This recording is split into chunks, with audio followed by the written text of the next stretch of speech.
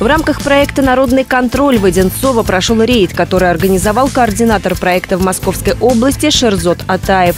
Методом контрольной закупки была выявлена незаконная продажа веселящего газа. Воздушные шары с закисью азота продавались в кальянной на вокзальной улице. Прибывшие в заведение полицейские составили протокол и изъяли баллон.